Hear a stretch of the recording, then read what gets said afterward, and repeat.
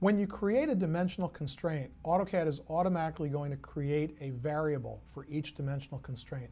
And it does that for you automatically. Now when I want to go change the value of a dimensional constraint, I can change each one individually by clicking on the particular dimensional constraint.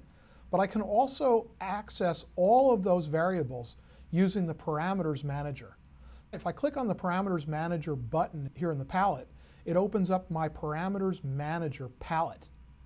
And this works just like any other AutoCAD palette. I can float it anywhere on the screen. I can dock it to the edge.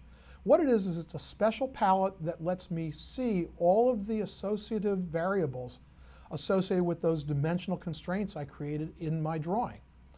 And now that I can see them, it's much easier. Notice that I've got it arranged in a grid. I've got three columns uh, that display by default. Now I can actually add two additional columns to display the description and the type uh, of each of those variables.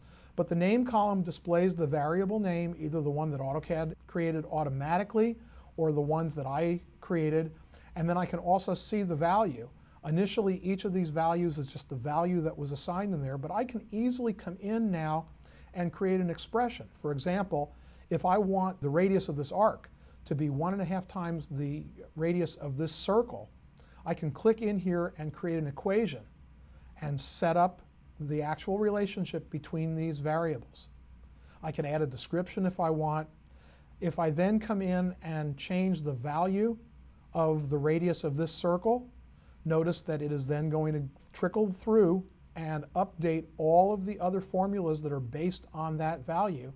And if we look over here in the drawing, you'll see that the objects updated automatically.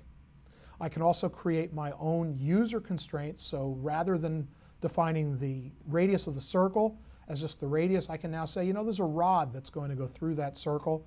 So let's just go ahead and call this rod. I'll create a new user variable. We'll call it rod.